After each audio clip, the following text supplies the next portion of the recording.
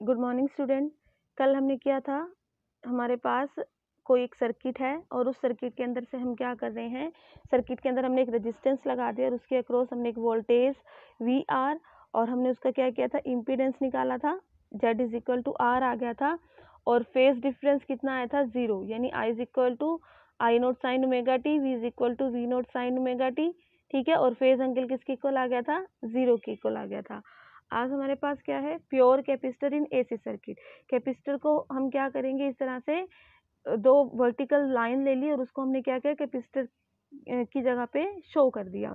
इसके क्रॉस जो वोल्टेज है वो वीसी और एसी सोर्स हम अप्लाई कर रहे हैं, ठीक है?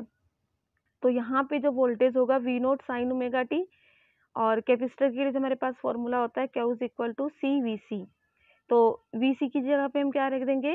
V nought sine omega T तो जो चार्ज होता है वो किसके इक्वल होता है? I is equal to D के अपॉन में D T hence the equation of A C in the capacitor is I D upon में डी टी और क्यू की जगह पे हमने रख दिया C V sine omega T यहाँ से देखो क्यू की वैल्यू मेरे पास क्या थी? C V nought sine omega T same वही वैल्यू रख दी. तो कांस्टेंट है सी वी उसको हमने अलग कर लिया. साइन ओमेगा टी का हम डेरिवेटिव कर देंगे, वो इक्वल आ जाएगा कोस ओमेगा टी के. क्लियर तो सी वी ओमेगा नोट ये हमारे पास है आई नोट के इक्वल और इसके साथ मल्टीप्लाई में क्या आ गया? कोस ओमेगा टी तो हमारे पास I is equal to I nought sine omega T plus pi by two यानी कोस ओमेगा टी को हम क्या लिख सकते हैं? Sine omega T plus pi by two तो यहाँ पे देखो जो वोल्टेज थी V nought sine omega T और जो करंट है वो क्या है? I nought sine omega T plus pi by two तो देखो यहाँ पे क्या होगा?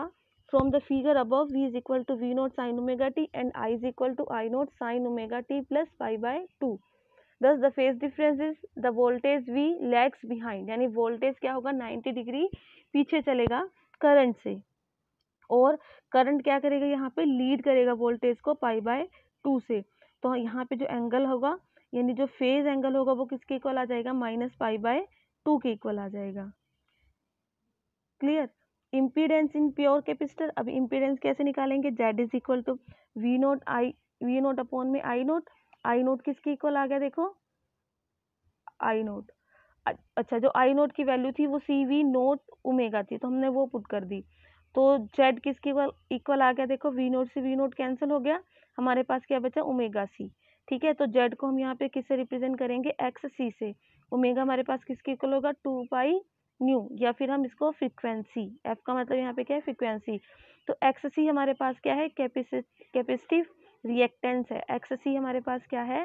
Capacitive reactance is equal to one by two pi nu C तो capacitive reactance is the opposition of the capacitor to the alternating current flow and is defined by the V nought upon में I nought reactance is scalar quantity and its unit is ohm.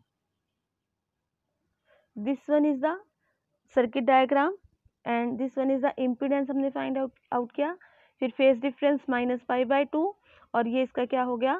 Phasor diagram कल हम करेंगे इसके अंदर कुछ numericals करेंगे इसके और फिर हम करेंगे pure inductor in AC circuit अगर हमारे पास सर्किट में क्या लगा होगा?